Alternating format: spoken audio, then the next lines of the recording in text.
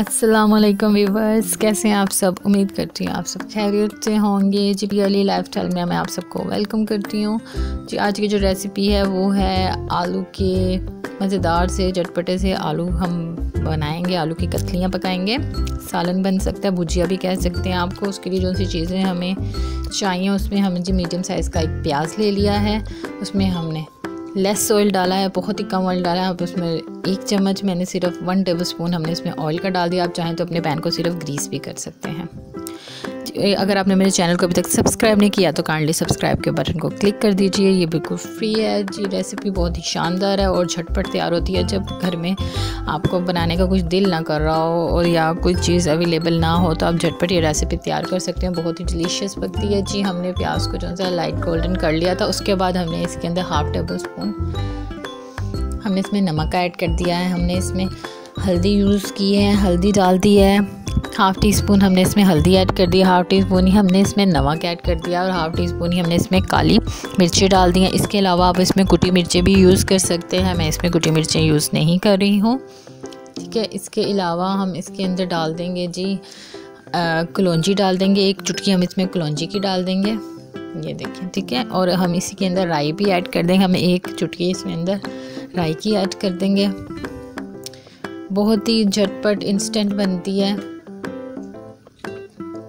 एक चुटकी हमने इसके अंदर कलौजी डाली, एक चुटकी हमने इसके अंदर राई डाली और हम एक ही चुटकी इसके अंदर ज़ीरा भी डाल देंगे। आप चाहें तो ज़ीरा अपने टेस्ट के अकॉर्डिंग डाल सकते हैं, जिस तरीके का आप यूज़ करते हैं, जिस तरीके का आपको पसंद है। सिर्फ़ ये बेसिक मसाले हमने इसमें ऐड कर दिए हैं। ये जी हमने इसमें सूखे धनिया भी डाल दिया। सूखे धनिया को थोड़ा सा हाथ पे लेके क्रश करें और उसको हम इसके अंदर ऐड कर देंगे। सूखे धनिया से एक बहुत ही शानदार सी खुशबू आएगी। वैसे हम इसमें सूखी मेथी भी यूज़ करेंगे। उसका भी बहुत शानदार और स्ट्रॉन्ग सी खुशबू आती है। ठीक है, ये जी, अब एक पूरा टमाटर ले लेना है और टमाटर हमने डाल देना हमने इसमें मीडियम साइज़ का एक प्याज यूज़ किया इसके अंदर हम चार आलू के गोल गोल से चिप्स काट के वो इसके अंदर ऐड कर देंगे ठीक है? ये एक हमने टमाटर डाल दिया है। हमने एक अच्छा सा स्ट्रॉन्ग सा अपना जो सी ग्रेवी ग्रेवी सॉरी मसाला हमने रेडी कर लिया है, ठीक है? मसाला जब रेडी हो जाएगा तो फिर इसके अंदर हमने आलूओं को छिलके उतार के उसको काट के गोल गोल स्लाइस में, बरीक स्लाइस में हमने काट के रखा था। जितने अच्छे आपके ब्रिक स्लाइस कटे होंगे, उतनी जल्दी आपकी रेसिपी रेडी हो जाएगी। यह फाइव मिनट रेसिपी है। बहुत ही इंस्टेंट और बहुत ही शानदार बना, बनती है। आप चपाती के साथ खा सकते हैं। बहुत ही अच्छी लगती है। ये मसाला हमारा रेडी हो गया है।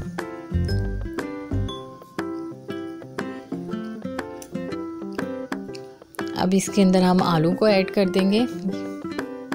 ये देखें ये हमने इसके अंदर आलू को ऐड कर दिया है। मैंने ये जी चार मीडियम साइज़ के आलू लिए थे। उनको अब हम इसके अंदर शामिल कर देंगे। आप अपने टेस्ट के हिसाब से नमक ऐड कर सकते हैं। मैंने इसमें नमक थोड़ा कम डाला था। इसको अब हम थोड़ा सा मसाले के अंदर सोटे कर लेंगे। थोड़ा सा हम इसे मिक्स कर लेंगे। ठीक है, जब ये मिक्स हो जाएगा, इसको थोड़ी देर रेस्ट के बाद हम इसके अंदर पानी ऐड कर देंगे।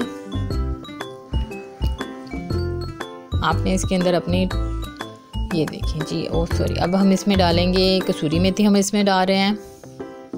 कसूरी मेथी के हम तीन चम्मच डालेंगे, ठीक है? थ्री टेबल स्पून हमने कसूरी मेथी, इसमें ड्राई कसूरी मेथी को हम इसमें ऐड कर देंगे। इससे बहुत ही स्ट्रॉन्ग सी खुशबू आएगी। आपकी जो सी आलू की ये भुजिया है, ये बहुत ही डिलीशियस बनेगी और इतनी इंस्टेंट बनती है और इतनी शानदार खुशबू आती है इसकी और खाने में और नाश्ते में भी बहुत अच्छी लगती है ये। एक कप हमने इसमें ऑयल का सॉरी एक कप हमने इसके अंदर पानी का ऐड कर दिया है, जिसमें हमारे आलू गल जाएँगे। ये रेसिपी बहुत झटपट है, चीज़ें आपकी रेडी हों तो आलू कटे हुए हों तो पाँच मिनट लगते हैं। ये देखिए जी, पानी ड्राई हो गया था, मैंने ऊपर ढक्कन लगा दिया था, पानी ड्राई हो गया है, ये देखिए पानी ड्राई हो गया है। आलू को अब हम उठा के देखेंगे कि आलू गल चुके हैं। एक आलू को पक के चेक कर सकते हैं कि आलू गले हैं कि नहीं तो नहीं तो आप और पानी डाल के भी उन्हें गला सकते हैं। ये देखिए, आलू बिल्कुल गल चुके हैं, जो थोड़ा और कोई लिक्विड था उसके अंदर, उसको हम बिल्कुल ड्राई कर लेंगे। चम्मच हिला के उनको अच्छे तरीके से हम मिक्स कर लेंगे। ठीक है, आप चाहें तो इसके ऊपर इस टाइम पे एक नींबू भी निचोड़ सकते हैं, उससे बहुत ही अच्छा एक खट्टा सा टेस्ट आ जाता है इसके अंदर। देखिए, बिल्कुल पक चुके हैं। जो और मॉइस्चर था, उसे भी मैंने हिला के बिल्कुल ड्राई कर लिया है। ये देखिए जी, आलू की भुजिया बहुत ही शानदार सी तैयार होगी। आप इसे आलू की भुजिया भी कह सकते हैं, आलू के कतले भी कह सकते हैं।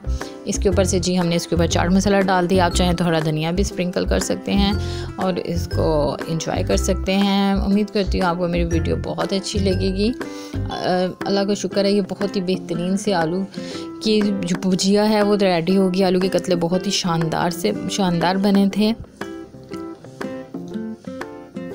मेरी इस रेसिपी को ट्राई लाजमी कीजिएगा और मुझे कमेंट में बताइएगा आपको कैसी लगी है। और मुझे अपनी दुआओं में याद रखिएगा। अल्लाह हाफिज़।